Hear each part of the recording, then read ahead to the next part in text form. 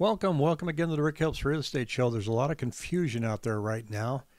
Arizona is adopting the new rules from the National Association of Realtors earlier than the rest of the country. The requirement for, for the rule changes was August 17th. We came in and rolled it out August 1st.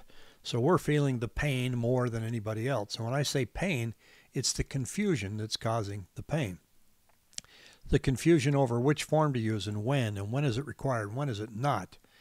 And and agents that don't realize that they should have taken the time to really dive in and understand these forms by meeting with their brokers, attending the webinars, going to the classes, because your clients, potential buyers out there and sellers, they're lost. They don't know what's going on. Uh, buyers especially. I mean, who's who's well versed in this stuff? As a buyer, you're thinking about buying a home, do you really even know that the rules changed a couple weeks ago, last week? No. And we're fielding phone calls going, I, I went, I called an agent, I wanted to see a house. He said I had to lock into a contract with them, an agreement to go look, how do I get out of it? What's going on here? Because now, National Association of Realtors and our local MLS says, well, you have to have a signed agreement before you can take a buyer out to see a home. And I'm going to show you what that form looks like here. There's there's four forms out there. Everyone is they have a acronym like this is buyer broker agreement. It's called a BBA. We've got more acronyms now than the military in real estate. It's really getting annoying, and and uh, and they're written well. Um, so I, I can't complain about. It. They've done an excellent job of designing these agreements. And here's one here I'm just going to share with you and it's called the buyer broker agreement to show property. And there's a couple of key things here I want you to concentrate on. When that agent slaps this in front of you and says, You have to sign this in order for me to show you the house, understand what you're signing. Okay. Now, there's another, this is an agreement to show property. There's another agreement called agency that I'm not going to get into now. That's after you enter into a contract to buy a home. Uh, we can dive into that later. But this one, it's you know it's got your name and the broker's name, the agent. You know, so for me it would be you know buyer here, Sally Smith, broker Rick McHone. I'm not a broker, but they always have you put the oh the firm name would go up here, Agave Homes and Investments LLC, and then my name, the agent's name. Here's the deal, right here, the term. This agreement shall commence on blah blah blah date and expire at 11:59 on boom boom boom date. Okay. This agreement just said you can set that for one day if you want or a weekend. You want an agent to show you some homes? Say, I'll sign an agreement for a weekend. I'm not going to commit to you yet. It's like bringing an engagement ring to your first date. Um, no, I don't think so. Um, so, broker compensation is not set by law nor by any board, association of realtors, multiple listing service in any manner that is fully negotiable. In other words, the fee is negotiable, always has been. The lawsuit pretended that we had collusion. I'm going to go over that in a moment. Collusion, because they said nationally rates were averaging between 2.5 and 3 percent. That's market driven. There were also people that were only charging $1,200 flat fee to list your home, $2,900. Just all across the board. I just think the NAR had really bad defense attorneys and they lost the case because they were arrogant. And hopefully they won't come after me for saying that. But this form has broker compensation.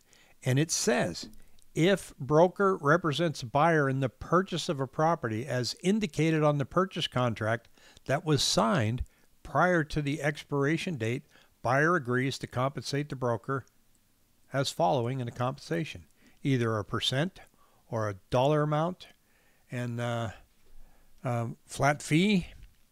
It's up to you. Now, if you don't want to pay it, there are forms out there where we can ask the seller to contribute to a, uh, a buyer broker's amount of compensation. We're not even allowed to use the word commission anymore, so they're calling it bananas. And it is bananas. It's just nutty out there. And for those of you in other markets where this is coming on April or August 17th, start learning your state's forms now.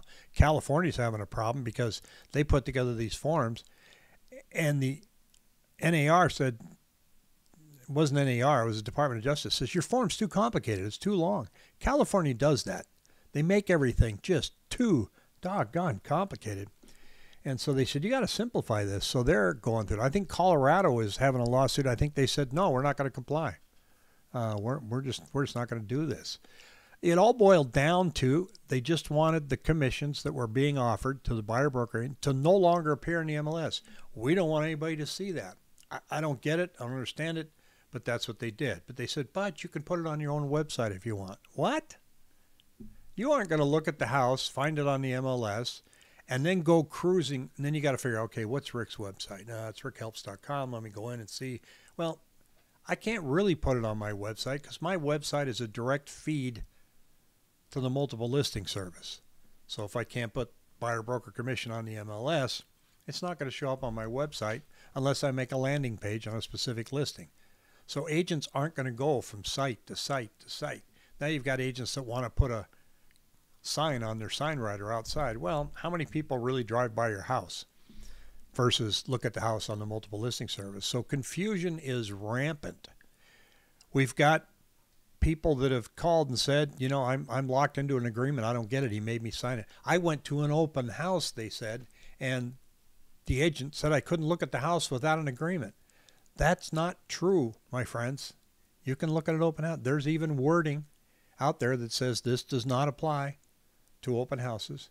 Sellers, you can still offer buyer broker compensation, just like you have in the past 40 years. You can still offer that. It's just how we communicate it has changed. And because of all these forms that we've come up with, we've just made the whole thing a big royal mess as people are trying to learn what to do. When do I use this form? When do I use that other form? So it is, uh, like I say, a royal mess out there. And uh, we've got buyer agreements, exclusive right to sell, um, buyer broker agreements to show, uh, agency agreements, you know, 10 different acronyms, acronyms that are out there. But if you have any questions, shoot me an email at rick or rickhelps.com, at rickhelps.com, or if you want to do a video call to go over some of these changes, I'd be happy to walk you through it. Bottom line is, you know, unfortunately, buyer beware. Um, agents have a fiduciary duty to show you that house, whether there's compensation or not. If you want to see that house, the agent has a fiduciary duty to show it to you and ask for compensation. Now, if there isn't any compensation being offered and you as a buyer don't want to pony up, it's a totally different conversation that you can enter into to figure out how you're going to do this. Um, in most cases, we're seeing right now, the offer of compensation from sellers has remained relatively the same, although there is a much larger percentage offering nothing. But on the backside, they're saying, well, we're going to offer nothing, but we're willing to talk about it. So I'm not sure if they've accomplished anything with this logistical mess. So good luck to you out there if you're buying or selling. And I know everybody's nervous about the election, but uh, we're all just spinning right now, going, man, what a mess. I hope it gets better.